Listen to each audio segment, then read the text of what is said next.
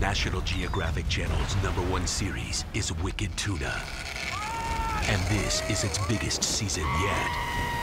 But the best is yet to come. More battles, more catches, and even bigger fish in special extended episodes.